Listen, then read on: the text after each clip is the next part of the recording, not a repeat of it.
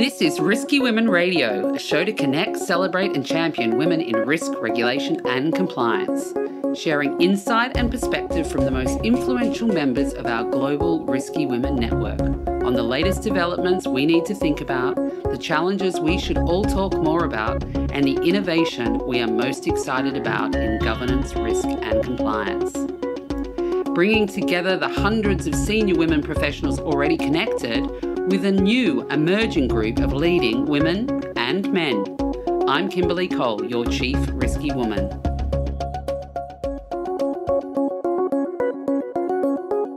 This episode is brought to you in partnership with My Compliance Office. With clients in over 80 countries and employees around the world, My Compliance Office is committed to delivering affordable, easy to use compliance technology. Thank you, My Compliance Office, for your support of Risky Women Radio. Welcome to Risky Woman Radio. Today's Risky Woman is Kelly-Ann McHugh. For those who listened to my intro into season three, you will know that Kelly-Ann will be hosting some of the episodes for Risky Women Radio this season.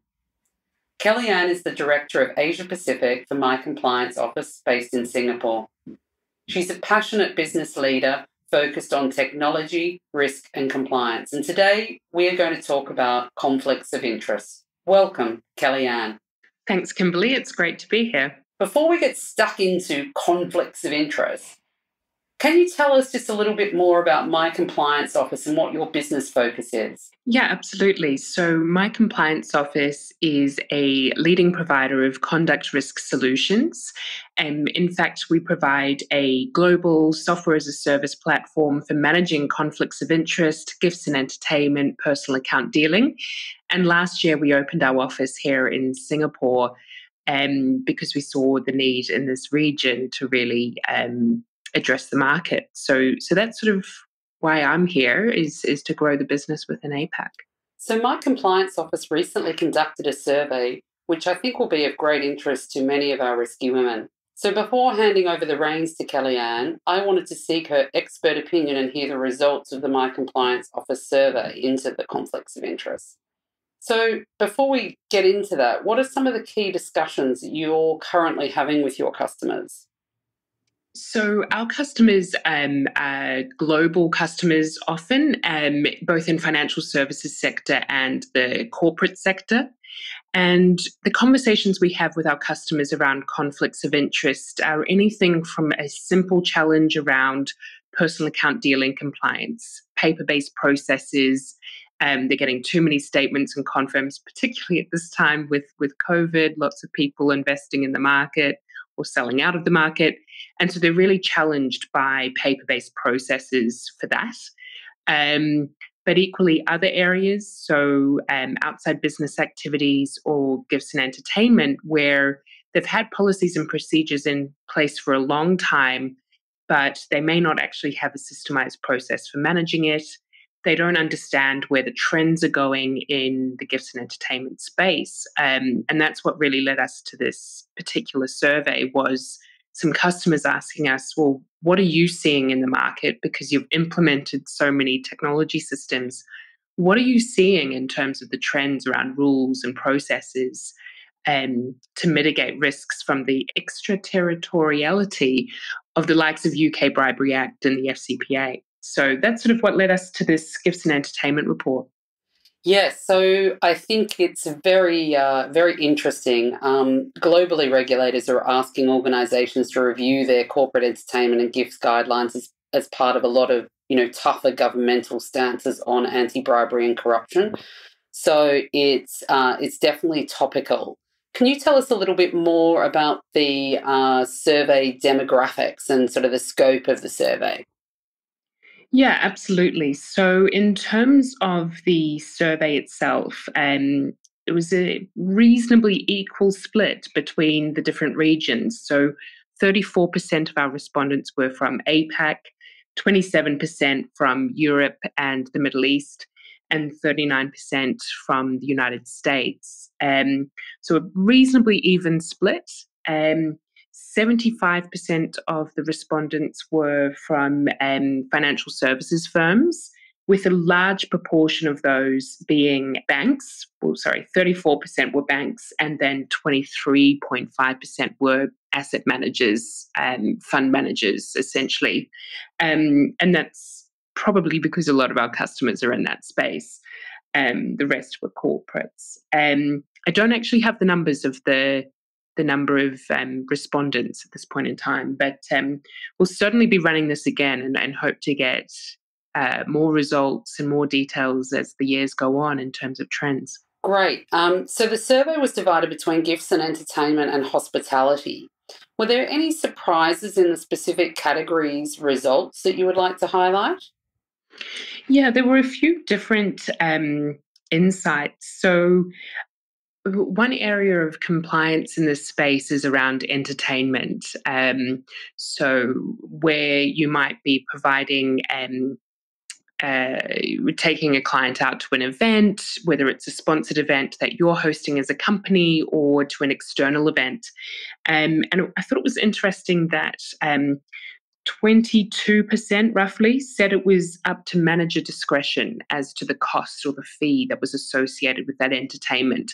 They hadn't actually set a limit um, for the amount that was paid, um, the dollar value against that event. Um, 21.95% also said um, that that fee, when they did set a limit, was between $100 and $250, um, which seems reasonable. Um, but then most European companies actually limited entertainment to be, be between 50 and $100.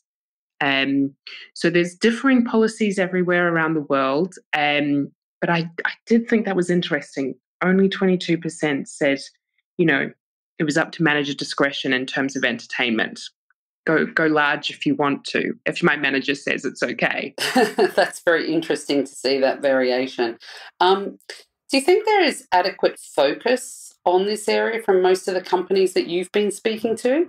Yeah, I mean, globally there has been over time. I think people may have become complacent about a gifts and entertainment policy, and we're seeing some interest, certainly globally, in conflicts of interest anyway. In the last 12 months, the regulators have picked up on lax processes around the likes of personal account dealing. The FCA put out a watch on that um, last year. I think Australia has done similar um, to say that, pro- and actually the SFC did too, processes in, in place in these organizations were just too relaxed. Probably too much paper and not enough systematic processes. But um, look, most companies have a policy and they provide training when employees are onboarded.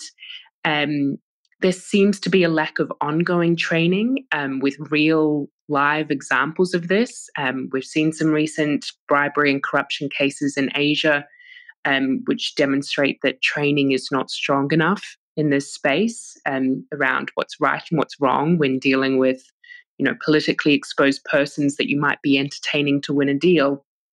So i think there is some room for improvement here. Um, what was also interesting is particularly with this dollar limits approach and the various and various different responses we got the only real rules at least that i know of that are specific in this space is almost like the US broker dealer rules, where they're very specific about um, de minimis values and how, you know, when you have to declare a gift. Whereas everywhere else in the world, it's a little bit vague. Um, and it's really about the organization setting a policy about, well, if you give or receive this gift, is it likely that you're going to have to have a future commitment to that client? You know, are you promising something in return for that gift that you're giving um, or receiving? So there is some improvement to take. Um, I think just to carry on on that a little bit here in Asia, there is a focus on gifts and entertainment because we have so many religious um, sort of holidays um, to celebrate throughout the year. So, gifts and entertainment policies in Asia have to be specific around um, you know gifting periods like the lunar lunar new year and um, Diwali, etc. There's there's obviously rules and policies and organisations have to put in place for that. So that's interesting. Um, what are some of the results or the the sort of best practices, I guess, more um, that you're seeing that companies are putting in place around gifts and entertainment? Yeah, so I've got sort of five um, best practices. Um, one, policies should have clear dollar limits for giving and receiving gifts and entertainment. And the emphasis there on both gifts and entertainment. I think the more specific you are, the easier it's going to be for a employee to comply.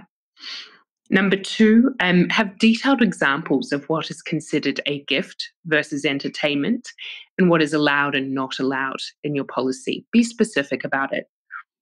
Number three, uh, define a policy for your approval process, um, but not just approvals in general, for pre approval. Um, a number of organizations, um, in fact, 65% of the organizations in our survey said that they did require pre clearance processes for giving or receiving gifts and entertainment.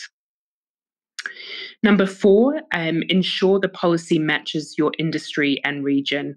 So, do describe risk events that have occurred in the past and what would constitute a conflict in your organization, like the example I mentioned around Lunar New Year, Christmas, Diwali, gift giving. What is the dollar value you're allowed to give or receive?